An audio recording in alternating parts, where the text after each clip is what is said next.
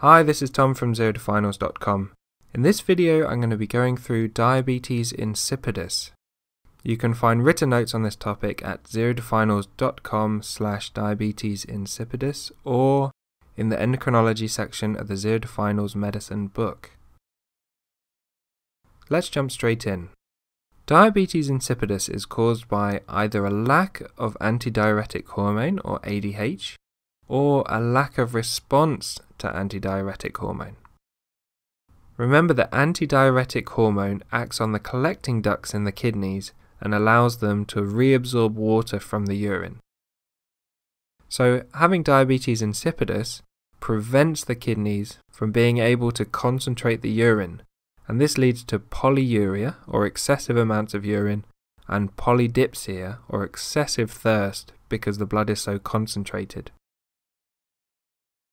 It can either be classified as nephrogenic or cranial diabetes insipidus, depending on whether the problem is in the kidneys or in the brain.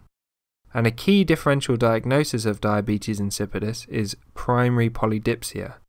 And this is where the patient has a normally functioning ADH system, but they're drinking excessive quantities of water, and this is leading to excessive urine production. They don't have diabetes insipidus, but they present with polyuria and often polydipsia. Firstly, let's talk about nephrogenic diabetes insipidus, and this is where the collecting ducts of the kidneys don't respond to the ADH that's in the bloodstream. And this can be caused by a number of different factors. One of the key causes is drugs, particularly a medication called lithium that's used in bipolar affective disorder. There's also a genetic abnormality that leads to nephrogenic diabetes insipidus, and this is mutations in the AVPR2 gene on the X chromosome. Intrinsic kidney disease, so really any chronic kidney disease that's affecting the internal functioning of the kidneys can lead to nephrogenic diabetes insipidus. And electrolyte imbalances can also be a cause, particularly hypokalemia or a low potassium and hypercalcemia or a high calcium. Next, let's talk about cranial diabetes insipidus. And this is where the hypothalamus gland does not produce ADH for the pituitary gland to secrete. And this can be idiopathic without any clear cause, or it can be caused by brain tumors, head injuries, brain malformations, infections such as meningitis, encephalitis, and TB, or brain surgery or radiotherapy. The presentation is all linked to the excessive loss of water in the urine. So patients have polyuria or excessive water production, polydipsia or excessive thirst, dehydration, postural hypertension, so their blood pressure drops as they stand up, and if you check their blood tests, they'll also have hypernatremia, or high sodium concentration in the blood. How do you investigate them? You can do your U&Es blood test to check the kidney function and you might find a hypernatremia. You can also check the urine osmolality and you'll find a low urine osmolality because there's a low concentration of solutes in the urine. They've all been diluted by water and you'll find a high serum osmolality as there's a high concentration of solutes in the blood. The next test is called a water deprivation test. The water deprivation test is also known as the desmopressin stimulation test, and this is the test of choice for diagnosing diabetes insipidus. So, how do you do it? Well, firstly, the patient needs to avoid taking any fluids or food for 8 hours prior to the test and this is referred to as fluid deprivation. Then the urine osmolality is measured, and synthetic ADH or desmopressin is given. Eight hours later, the urine osmolality is measured again. So, how do you interpret the results? Well, in cranial diabetes insipidus, the patient lacks ADH so the kidneys are still able to respond to ADH. So initially, after that first 8 hour period of water deprivation, the urine osmolality will still be low as it continues to be diluted by the excessive water secretion by the kidneys.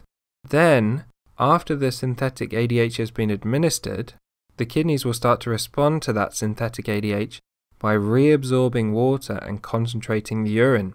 So that 8 hours after the ADH is given, the urine osmolality will be high, and that way you know that it's cranial diabetes insipidus and the kidneys are still functioning normally. In nephrogenic diabetes insipidus, the patient is unable to respond to the ADH. What's happening is they're diluting their urine with excessive water secretion by the kidneys, and they're unable to respond to ADH. Therefore, their urine osmolality will be low after the initial 8 hour water deprivation and will remain low after the synthetic ADH is given. In primary polydipsia, the 8 hour water deprivation will cause the urine osmolality to be high even before the synthetic ADH is given. If you have a high urine osmolality 8 hours after water deprivation, you know that they don't have diabetes insipidus, so there's no purpose for giving ADH and doing the full test. You can exclude at this point that they have any diabetes insipidus. So, just to briefly summarize those results, in cranial diabetes insipidus, you'll have a low urine osmolality after deprivation and a high urine osmolality after the ADH is given. In nephrogenic diabetes insipidus, you have a low urine osmolality after deprivation and it remains low after the ADH is given. And in primary polydipsia, you'll have a high urine osmolality after deprivation and of course it will remain high after the ADH is given. So, how do you treat diabetes insipidus? Well, if possible, it's worth correcting the underlying cause. Often, mild cases can be managed conservatively without any treatment. Desmopressin, which is synthetic ADH, can be used as a treatment in cranial diabetes insipidus to replace the ADH that they're not already making and in nephrogenic diabetes insipidus it can also be used, but often very high doses are required and close monitoring is necessary in order to get an adequate response from the kidneys. So thanks for watching, I hope you found this video helpful. If you did, don't forget there's plenty of other resources on the Zero to Finals website, including loads and loads of notes on various different topics that you might cover in medical school with specially made illustrations. There's also a whole test section where you can find loads of questions to test your knowledge and see where you're up to in preparation for your exams.